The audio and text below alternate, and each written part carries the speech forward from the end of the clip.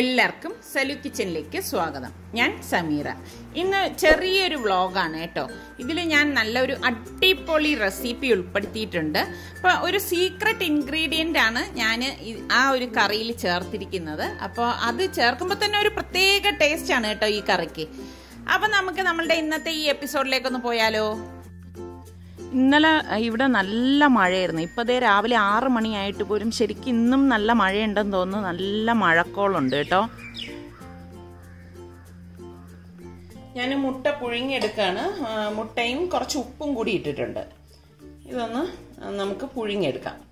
അപ്പോൾ ഇതിന് വേണ്ടിയിട്ട് ഞാനിവിടെ അഞ്ച് സവാള എടുത്തിട്ടുണ്ട്. ഇതുപോലത്തെ മീഡിയം സൈസ് സവാളയാണ് അഞ്ചെണ്ണം ഞാൻ എടുത്തിരിക്കുന്നത്. നമുക്കൊന്ന് സ്ലൈസ് ചെയ്തെടുക്കാം.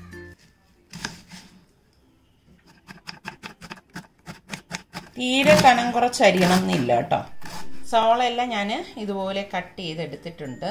അപ്പോൾ ഇതെല്ലാം നമുക്കൊന്ന് വിടർത്തിയെടുക്കാം. ഇങ്ങനെ വിടർത്തിയെടുക്കണം എന്തെന്ന് വെച്ചാൽ നമ്മൾ വഴറ്റുമ്പോൾ പെട്ടെന്ന് നമുക്കിത് വഴണ്ടി കിട്ടും. പിന്നെ നമുക്ക് വേണ്ടത് ഇഞ്ചിയും വെളുത്തുള്ളിയാണ്. അപ്പോൾ ഇതിൽ നമ്മൾ ജിഞ്ചർ ഗാർലിക് പേസ്റ്റ് അല്ല ഉപയോഗിക്കുന്നത് കേട്ടോ. ഇതുപോലെ ഒരു ചെറിയ പീസ് ഇഞ്ചിയും ഒരു ഉണ്ട വെളുത്തുള്ളി അല്ലി എടുത്തിട്ടുണ്ട്. ഇതൊന്ന് ചോപ്പ് ചെയ്തെടുക്കാം. ഇനി എളുപ്പത്തിന് വേണ്ടിയിട്ട് ഒരു ചോപ്പറിലേക്ക് ഇട്ടിട്ട് ഒന്ന് ചോപ്പ് ചെയ്തെടുക്കാം.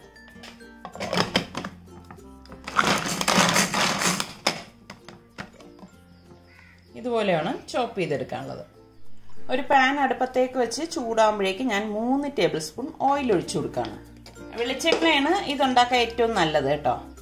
എണ്ണ ചൂടാകുമ്പോഴേക്ക് ഞാനിവിടെ ഒരു നാല് ഗ്രാമ്പു ഒരു ഏലക്കായ ഇതുപോലെ രണ്ട് പീസ് പട്ട എടുത്തിട്ടുണ്ട്. ഇത്രയും മതിയാവും. ഈ ഇത് ഇതിലേക്ക് ഇട്ട് കൊടുക്കാം.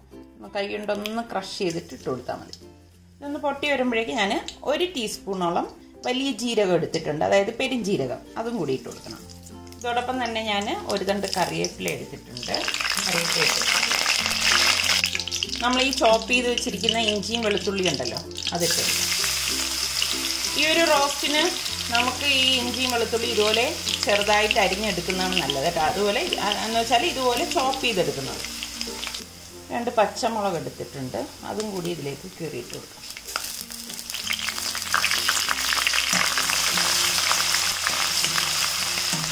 നമുക്കിതിലേക്ക് ഈ സവാള സ്ലൈസ് ചെയ്ത് വെച്ചിരിക്കുന്ന ഇട്ടിട്ട് കൊടുക്കാം. അടി ചേർത്ത് നന്നായിട്ട് വഴറ്റിയെടുക്കണേ. ഈ സവാള ഇതുപോലെ വഴണ്ട് വരുന്ന നേരം കൊണ്ട് നമുക്ക് ഈ മുട്ട റോസ്റ്റിൽ ടേസ്റ്റ് കൂട്ടുന്ന ഒരു കാര്യം കൂടി എടുക്കണം. ഞാനിവിടെ പൊട്ടുകടല രണ്ട് ടേബിൾ സ്പൂൺ എടുത്തിട്ടുണ്ട്. പൊട്ടുകടല എന്ന് പറയുമ്പോൾ ഇതാണ് കേട്ടോ. അപ്പോൾ ഇത് ഞാനൊന്ന് പൊടിച്ചെടുക്കുകയാണ് ഇതിപ്പോൾ ഞാനിവിടെ പൊടിച്ചെടുത്തിട്ടുണ്ട്. പൊടിച്ചെടുക്കുമ്പോൾ നമുക്ക് ഈ ഒരളവിൽ കിട്ടും. രണ്ട് ടേബിൾ സ്പൂൺ എടുത്തിട്ട് പൊടിച്ചെടുത്താൽ മതി കേട്ടോ. ഇത് നമുക്ക് മാറ്റി വെക്കാം. സവാള ഇവിടെ വഴണ്ട് വന്നിട്ടുണ്ട്. ഇനി നമുക്കിതിലേക്ക് പൊടികൾ ഇട്ട് കൊടുക്കാം. അധികം പൊടികളൊന്നും ഞാൻ ഇതിലേക്ക് ചേർക്കത്തില്ല കേട്ടോ. അര ടീസ്പൂൺ മഞ്ഞൾപ്പൊടി രണ്ടര table spoon Kashmiri chilli powder ഇതാവുമ്പോൾ നല്ല കൊഴുപ്പും കിട്ടും. എന്നാൽ അധികം എരിവും ഉണ്ടാകത്തില്ല പിന്നെ നമുക്ക് വീട്ടിൽ തന്നെ പൊടിച്ചു വെച്ചിരിക്കുന്ന ഗരം മസാല പൊടി ഒരു ടീസ്പൂൺ പാകത്തിനുള്ള ഉപ്പ്. അതായത് നമ്മൾ പൊടികൾ ചേർത്തിട്ട് ആ പൊടികൾക്ക് ഒരു പച്ച മണം ഉണ്ടാവുമല്ലോ. അത് മാറുന്നതുവരെ ഒന്ന് ഇളക്കി കൊടുക്കണം. ഇപ്പോൾ പൊടികളുടെ ആ ഒരു പച്ച മണമൊക്കെ മാറിയിട്ടുണ്ട്. അതായത് ആ ഒരു പച്ച പച്ചക്കുത്തലുണ്ടല്ലോ അത് മാറുന്നത് വരെയാണ്. അപ്പം നമ്മൾ ഈ പൊടിച്ച് വെച്ചിരിക്കുന്ന ഈ പൊട്ടുകടലയുടെ പൊടി ഉണ്ടല്ലോ അത് ഇതിലേക്ക് ഇട്ടിട്ട് ഇളക്കി കൊടുക്കാം. ഇത് ചേർക്കുമ്പോഴേക്ക് ഈ ഒരു റോസ്റ്റിന് നല്ല ഒരു ടേസ്റ്റാണ് കേട്ടോ. ഇതൊന്ന് ഇളക്കിയ ശേഷം നല്ല തിളച്ച അരക്കപ്പ് വെള്ളം ഞാനിവിടെ എടുത്തിട്ടുണ്ട്. അത് ഒഴിച്ചു കൊടുക്കാം. ഇനി നമ്മൾ ഇതിലേക്ക് ചേർക്കും കേട്ടോ. ഫസ്റ്റ് ഈ പറഞ്ഞ മാതിരി അരക്കപ്പ് വെള്ളം ചേർത്ത് നന്നായിട്ട് ഇളക്കി കൊടുക്കണം. ഇത് ഇതുപോലെ ഒന്ന് കുറച്ച് നേരം അതായത് ഏകദേശം ഒരു രണ്ട് മിനിറ്റ് ഇതുപോലെ ഒന്ന് ഇളക്കി കൊടുത്ത ശേഷം ഞാനിവിടെ രണ്ട് ടൊമാറ്റോ എടുത്തിട്ടുണ്ട്. ഇത് നമുക്ക് സ്ലൈസ് ചെയ്തിട്ട് കൊടുക്കാം. അപ്പം ഞാൻ ഫ്ലെയിം കുറച്ചിട്ടാണ് വെച്ചിരിക്കുന്നത് കേട്ടോ. അപ്പം അതൊക്കെ ഒന്ന് ഫ്ലെയിം കൂട്ടി കൊടുക്കാം.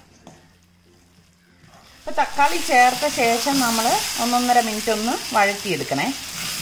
അരക്കപ്പോളം കപ്പോളം തിളച്ച വെള്ളം ഒഴിച്ചു കൊടുക്കാം തിളച്ച വെള്ളം തന്നെ ഒഴിക്കണം കേട്ടോ. പച്ചവെള്ളം ഒഴിച്ച് കളയരുതേ. അപ്പോൾ അതെ നമ്മൾ രണ്ടാമതും വെള്ളം ചേർത്തിട്ട് വഴറ്റിയെടുത്തിട്ടുണ്ട്. നല്ല കുറുകിയ നല്ല ഒരു പരുവായിരിക്കണം. ഇനി നമുക്ക് പുഴുങ്ങിയെടുത്ത മുട്ട ഒന്ന് വരഞ്ഞിട്ട് ഇതിലേക്ക് ഇട്ട് കൊടുക്കാം. ഞാനിവിടെ ഒരു മുട്ടയെ നാല് ഇതായിട്ട് ഇതുപോലെ ഒന്ന് വരഞ്ഞിട്ട് ഇട്ട് കൊടുക്കണം. നമ്മൾ ഇങ്ങനെ വരഞ്ഞിട്ട് ഇട്ട് കൊടുക്കുന്നത് മസാല ഉള്ളിലേക്ക് കടക്കാൻ വേണ്ടിയിട്ടാണ്.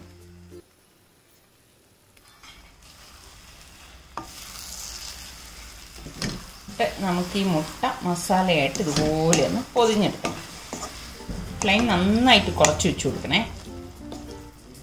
നമുക്ക് കുറച്ച് കറിവേപ്പില ഇതുപോലെ ഇട്ട് കൊടുക്കാം. ഈ ഒരു സ്റ്റേജിലാണ് നമ്മളിത് മൂടി വെക്കുന്നത്. മൂടി വെച്ചിട്ട് ഒന്നൊന്നര മിനിറ്റ് ഇതുപോലെ വെച്ചിട്ട് ലോ ഫ്ലെയിമിൽ വെച്ചിട്ടാണ് വെച്ചിരിക്കുന്നത്. അതിനുശേഷം ഗ്യാസ് ഓഫ് ചെയ്തിട്ട് നമുക്കിത് ചൂടോടുകൂടി തന്നെ സെർവ് ചെയ്യാവുന്നതാണ്. ഞാൻ മൂടി വെച്ചിട്ട് രണ്ട് മിനിറ്റ് ആയിട്ടുണ്ട്. ഗ്യാസ് ഓഫ് ചെയ്ത് കൊടുക്കണം. നല്ല മണം വരുവാണ് കേട്ടോ. ഒരു സ്പെഷ്യൽ മുട്ട റോസ്റ്റ് ഇവിടെ റെഡി ആയിട്ടുണ്ട്. അപ്പം ട്രൈ ചെയ്ത് നോക്കണം കേട്ടോ നിങ്ങൾ ഈ രീതിയിൽ ട്രൈ ചെയ്യാത്തവർ ഇങ്ങനെ ഒന്ന് ട്രൈ ചെയ്ത് നോക്കണം. പിന്നെ ഞാൻ പറഞ്ഞ മാതിരി ആ പൊട്ടുകടല ഇട്ട ശേഷം അതിന്റെ ആ ഒരു പച്ച മണം മാറാനായിട്ട് ഒന്ന് ഇളക്കിയെടുക്കണം. ശരിക്കും നല്ല ഒരു വ്യത്യസ്തമായിട്ടുള്ള ടേസ്റ്റാണ് ഈ ഒരു മുട്ട റോസ്റ്റിനുള്ളത്. അപ്പോൾ നിങ്ങൾ ട്രൈ ചെയ്ത് നോക്കിയിട്ട് എനിക്ക് ഫീഡ്ബാക്ക് തരണം.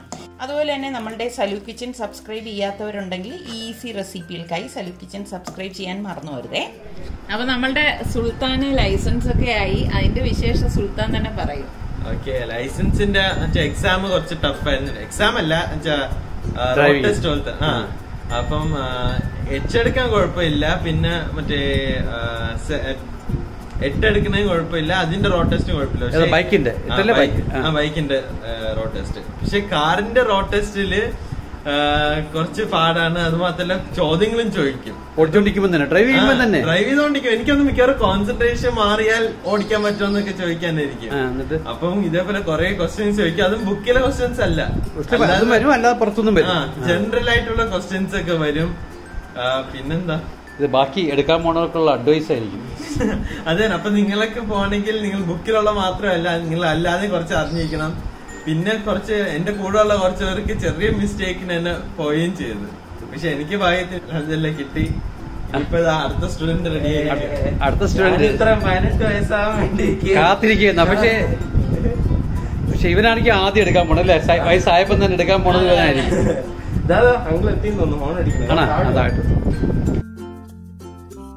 വന്നില്ലേ? വണ്ടി വന്നില്ലേ? കേട്ടതാരത്? ബൈക്കിന്റെ നിനക്ക് ഓടിക്കാൻ ധൃതിയായ? ഡേയ് നീ പറഞ്ഞില്ലേ ഡ്രൈവിങ്ങിന് ഭയങ്കര സ്ട്രിക്റ്റ് ആണ് ഇപ്പോഴത്തെ എന്ന് വെച്ചാൽ എന്താണ് അവർ തരം അതായത് വണ്ടിക്ക് അകത്തിരുന്ന് ക്വസ്റ്റ്യൻസ് ചോദിക്കും പറഞ്ഞു. എന്ത് ക്വസ്റ്റ്യൻസ് ആണ് ചോദിക്കുന്നത് എം എസ് അങ്ങനെയൊക്കെ ചോദിക്കൂ മിറർ സിഗ്നൽ മാനുവൽ എന്ന് വെച്ചാൽ നമ്മളിപ്പം മിറർ വണ്ടി സ്റ്റാർട്ടിന് മുമ്പ് നോക്കേണ്ട കാര്യങ്ങളാണ് ഈ മൂന്ന്. മിറർ എന്ന് വെച്ചാൽ നമ്മൾ ആദ്യം മിറർ എല്ലാം കറക്റ്റാണ് നോക്കണം. പിന്നെ സിഗ്നൽ സിഗ്നൽ എടുക്കുമ്പോ എന്ത് സിഗ്നൽ കാണിക്കേണ്ടത്? മാനുവൽ എന്ന് വെച്ചാൽ ജംഗ്ഷന് റൗണ്ട് അബൌട്ട് അങ്ങനത്തെ സ്ഥലത്തങ്ങൾ അങ്ങനത്തെ സ്ഥലത്ത് മൂന്ന് സാധനങ്ങളുണ്ട്. സ്പീഡ് പൊസിഷൻ പ്ലെയിൻ ആണ് തോന്നുന്നത് അപ്പൊ അതനുസരിച്ച് അതൊക്കെ നോക്കിയിട്ട് വേണം ഓരോന്ന് ചെയ്യേണ്ടത്. അതാണ് എം എസ് എം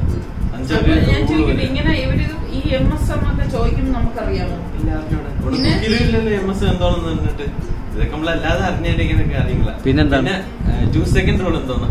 രണ്ടാമത് ഗിയർ ഇടാനാ? അല്ല ഞാനതാ പറഞ്ഞ ഗിയർ മാറ്റേണ്ട സമയമല്ലായിരിക്കും. പക്ഷെ അല്ല എന്നുവെച്ചാൽ നമ്മൾ ഫ്രണ്ട് ഇരിക്കുന്ന കാറും ബാക്കിൽ ഇരിക്കുന്ന കാറിന്റെ ഇടയിലുള്ള ഡിസ്റ്റൻസ് ടു സെക്കൻഡ് അത്രയും ടു സെക്കൻഡ് മെയിന്റെയിൻ ചെയ്യണം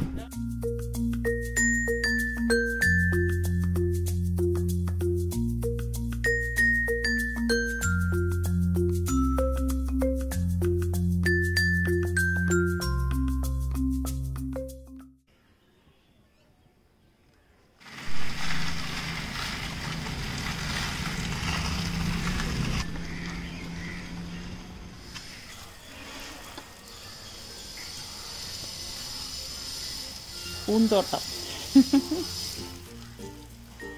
റോഡിലാണെന്നേ ഉള്ളൂ ഇല്ലേ?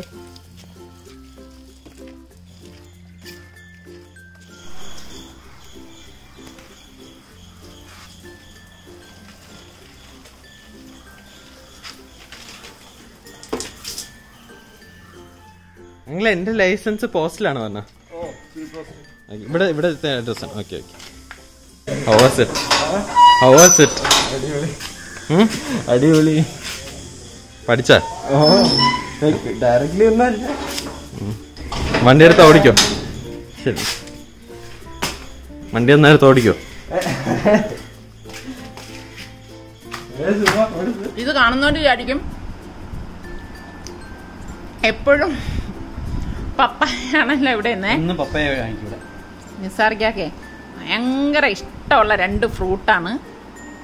ഒന്ന് ഏത്തപ്പഴവും പിന്നെ അതേ പപ്പായ. ഏത്തപ്പഴം എന്ന് പറഞ്ഞു കഴിഞ്ഞാൽ ഇങ്ങനെ പഴുത്ത് കറുത്ത ഏത്തപ്പഴം ഉണ്ടല്ലോ അതാണ് ഏറ്റവും ഇഷ്ടം അല്ലേ?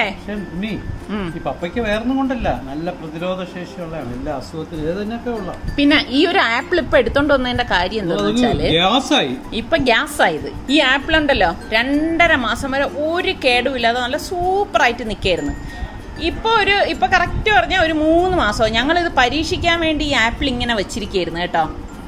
അതെന്നുവെച്ചാൽ രണ്ടര മാസം വരെ ശരിക്കും നമ്മൾ ഈ കടയിൽ നിന്ന് വാങ്ങിച്ചുകൊണ്ട് വരുന്ന ആ ഒരു ഫ്രഷ് ഉണ്ടല്ലോ. അതോ അതേപോലെ ഇരിക്കായിരുന്നു അയ്യോ. അത് കഴിഞ്ഞ ശേഷമാണ് ഇതിങ്ങനെ. ഇതിപ്പോ ഇതിന്റെ ഉള്ളിൽ നിറച്ച് ഗ്യാസ് പോലാണ് ഇരിക്കുന്നത്. അല്ലേ?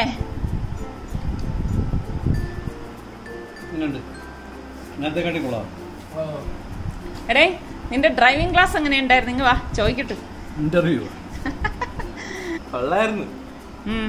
എന്ന് വെച്ചാ ഞാനാണെങ്കി ഇവന് രണ്ട് ഇതുണ്ടെന്ന് കൺട്രോൾ ഉള്ളതൊന്നും അവൻ അറിയത്തില്ല. അവന് വേറെ അവന്റെ കഴിവിലാണ് വണ്ടി ഓടുന്നത്.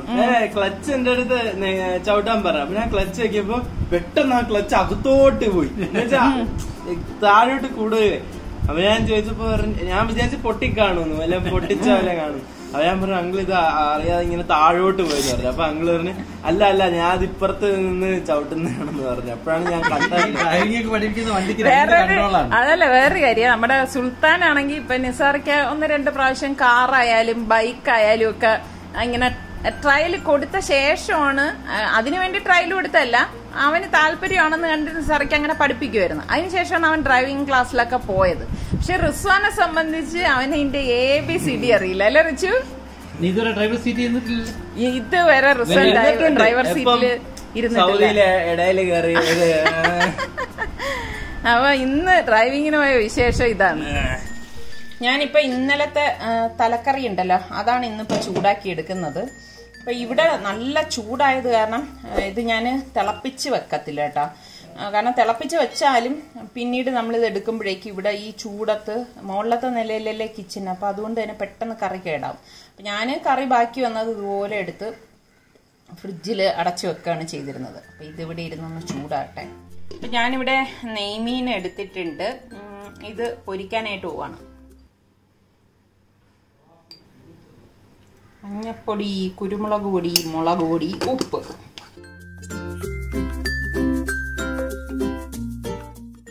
പിന്നെ നാരങ്ങ നീര്.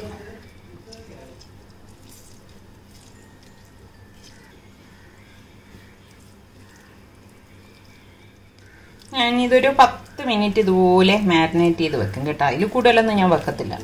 എന്നിട്ട് ഞാൻ പൊരിച്ചെടുക്കുകയുള്ളൂ രാവിലെ ഇവിടെ ഞാൻ പയർ കറിയാണ് ഉണ്ടാക്കിയിരുന്നത്. അപ്പോൾ അത് ഉണ്ടാക്കിയിട്ട് പെട്ടെന്ന് തന്നെ എനിക്ക് സൈറ്റിലേക്ക് പോകേണ്ടി വന്നു. അപ്പോൾ അതുകൊണ്ട് തന്നെ പാത്രം ഒന്നും കഴുകിയിട്ടില്ലായിരുന്നു കഴിക്കണ പാത്രങ്ങൾ അവരവർ കഴിക്കുന്ന കഴി കഴുകി വെച്ചോളും കേട്ടോ. പയറ് വേറെ ഉണ്ടാക്കിയ പ്രഷർ കുക്കർ അടപ്പ് ഞാൻ കഴുകി വെച്ചിട്ടുണ്ടായിരുന്നു. കുക്കറും പിന്നെ ബാക്കിയുള്ള കറി ആക്കിയ പാത്രമൊക്കെ ഇപ്പോൾ അതേ ഞാൻ കഴുകുകയാണ് അല്ലെങ്കിൽ എന്തെന്നറിയോ നമ്മൾ ചോറുണ്ടിട്ട് വരുമ്പോഴേക്ക് പിന്നെ അതിന്റെ പാത്രങ്ങളെല്ലാം ഇത് ശരിക്കും നല്ല ഒരു പാത്രമാണ് കേട്ടോ. ഈ ന്യൂട്രിയോണ്ടത് ഭയങ്കര ഇഷ്ടമുള്ള ഒരു പാത്രമാണിത് സോസ്പാനാണ് കേട്ടോ. അതുപോലെ എനിക്ക് ഇഷ്ടമുള്ള ഒരു തവിയാണ് ഇത്. ചിരട്ടത്തവി.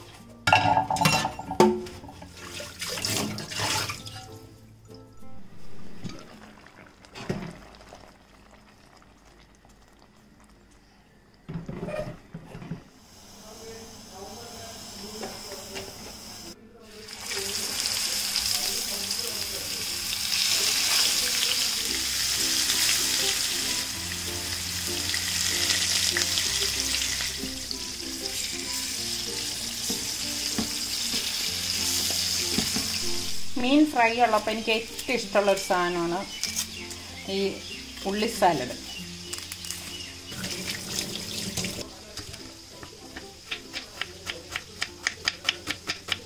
ഇതിലേക്ക് ഞാൻ മുളക് പൊടിയും ഉപ്പും വിനാഗിരി ഇത്രയും മാത്രമേ ഇടത്തുള്ളൂ.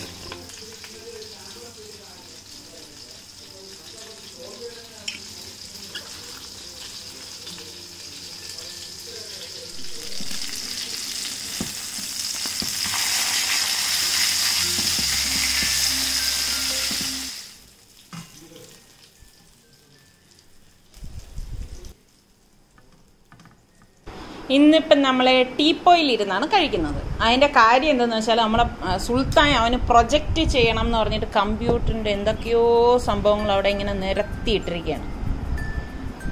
അപ്പം ഇതുപോലെ ഡൈനിങ് ഒക്കെ ഉണ്ടെങ്കിലും ടീപ്പോയിലൊക്കെ ഇരുന്ന് കഴിക്കണ എത്ര പേരുണ്ട്? ഒന്ന് പറയണേ. നമ്മൾ തറയിൽ നിന്നാണ് ചില സമയത്ത് അത് ശരിയാണ്.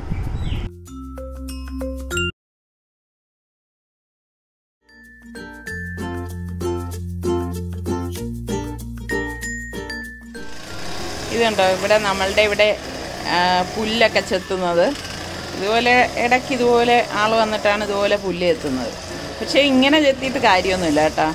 കാരണം ആ മീതെ ഉള്ളത് മാത്രമേ പോകത്തുള്ളൂ. അതിന്റെ വേരൊക്കെ അടിയിൽ തന്നെയാണല്ലോ ഉള്ളത്.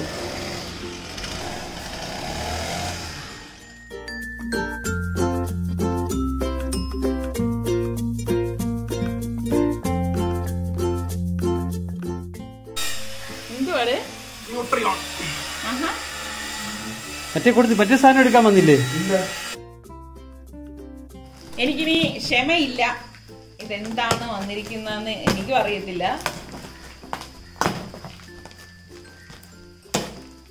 കട്ടിംഗ് ബോയ് എവിടെ പോയിടെ? Class class. സുൽത്താന് ക്ലാസ് ഇതേപോലത്തെ പാക്കിംഗ് ആണല്ലേ നാല് സൈഡിലും തെർമോകോൾ വെച്ച്. ഓ അതിന്റെ അകത്ത് വേറൊരു ബോക്സ്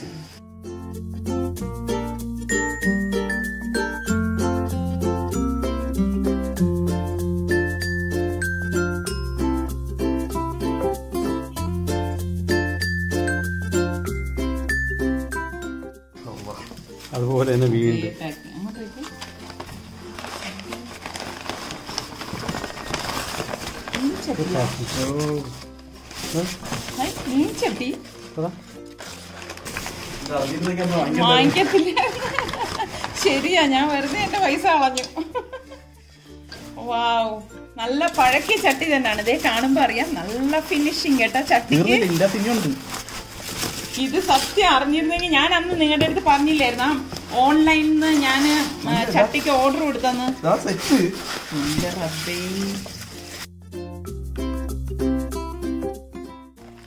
ശരിക്കും പറഞ്ഞാൽ ഞാൻ വാങ്ങിയതാണെങ്കിൽ അതിന്റെ സൈഡിലൊക്കെ കുറച്ച് ഡാമേജ് ഉള്ളതായിരുന്നു. ഇത് നല്ല കറക്റ്റ് ഒരു ചട്ടി കേട്ടോ. നല്ല പാക്കിങ്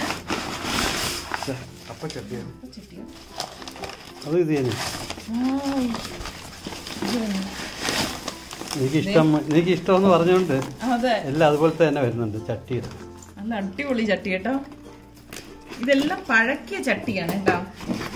ഇത് കറുത്ത? ചട്ടിയുടെ പൂരം. കൊള്ളാല്ലേ? ഇതും അതുപോലെ തന്നെ. ദേ, നമുക്ക് കാണുമ്പോ അറിയാം കണ്ടോ? ന്യൂട്രിയൻകാര് ഇപ്പം ചട്ടി കച്ചവടം തുടങ്ങി അല്ലേ? കൊള്ളാം കേട്ടോ. കാസ്റ്റ് മാത്രമേ അടിപൊളി. അപ്പൊ നമുക്ക് ഈ പറഞ്ഞ മാതിരി ഞാൻ അന്ന് പക്ഷെ ഞാൻ അത് വന്ന ചട്ടി വന്നത് നിങ്ങളെ കാണിച്ചില്ലായിരുന്നു കേട്ടോ. അത് എടുക്കാൻ പറ്റിയില്ലായിരുന്നു. എടുത്തെന്ന് തോന്നുന്നല്ലേ പോസ്റ്റ് ചെയ്തില്ല. പക്ഷെ ഞാൻ ചട്ടി അത് കഴിഞ്ഞ് ഉപയോഗിച്ച ചട്ടി ചട്ടിയെല്ലാം ഞാൻ അന്ന് ഓൺലൈനിൽ വരുത്തിച്ച ചട്ടിയാണേ. നീ ഇനി കുറെ ദിവസം ഇതിന്റെ ആയിരിക്കും. എന്തെങ്കിലും കിട്ടിക്കഴിഞ്ഞാൽ പിന്നെ ഞാൻ അത് തന്നെ ആയിരിക്കും. എന്താണ് ഓ അവറിങ് തന്നെ എല്ലാം കംപ്ലീറ്റ് അവർ പാക്കിംഗ് ആണ്.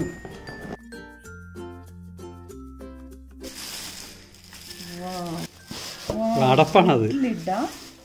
ഇവരാ കംപ്ലീറ്റ് മാറിപ്പോയി ഇവരെ അല്ലേ രീതിയായി. ഇത് കാസ്റ്റ് തന്നെ അല്ലേ? ഇല്ലാത്ത ടൈപ്പ് ഒരു നല്ല രസമുണ്ടല്ലേ. ഓ അതിലും അവരാ അവരുടെ ബ്രാൻഡ് എഴുതിയിട്ടുണ്ടല്ലോ നോട്രിയോ ഇനി ഇതുപോലുള്ള ഈ പറഞ്ഞ മാതിരി എനിക്ക് എന്തെങ്കിലും കിട്ടിക്കഴിഞ്ഞാൽ പിന്നെ അടുത്ത റെസിപ്പിയൊക്കെ ഇതിലായിരിക്കും.